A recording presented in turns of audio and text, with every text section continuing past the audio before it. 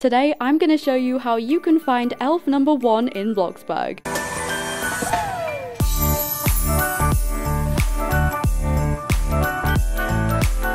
So the elf hunt has started and I have just got this notification so I'm gonna click go to elf hunt. This has literally just popped up on my screen. We're getting straight into this video. There's no intro today. So we are loading. I'm assuming this is gonna take us to the advent calendar near the town hall but we're just gonna see where this takes me because this has literally just happened. Okay so here we are and it has taken us to the advent calendar so we are gonna see who is this?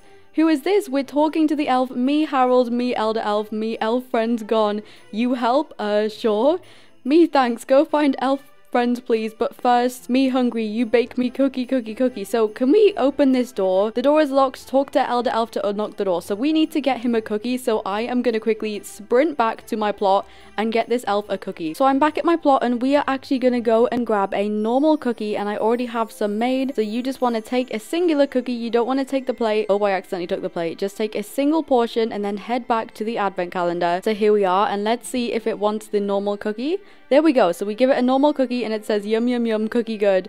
But my friend's still gone. Go find elf friends please. And this is when the hunt really begins. So I thought the elder elf was the only elf for today, but I was actually wrong. Now when you go up to the advent calendar, it says this clue from this hatch will be revealed the day after that elf spawns. Which means we're not getting a clue today. And I didn't think there was any elf because I went up to the noob area and there wasn't one, but there is. The first elf is already in game. Now I have a holiday cookie. So you want to go and get a holiday cookie, a single one off a plate at home and then you want to bring it back to the advent calendar again like we did for the like we did for the elder elf but you actually want to head behind here and it's best to sprint to get onto this but you need to climb onto these trees. Can you see it over there? There's an elf there. So i'm gonna use my sprint and jump on the trees and just climb across and we have a little elf guy sat in the tree and we are gonna give him the cookie and he gives you 2500 money. So that is the first elf of the elf hunt. Oh my goodness. I can't believe we've got one already. I did actually think there was none but there is an elf. So that is how you get elf number one and the elder elf in the elf hunt. And that is all for today's video. And i will see you guys tomorrow for the next one. Have a very merry glossmas xoxo glossie girl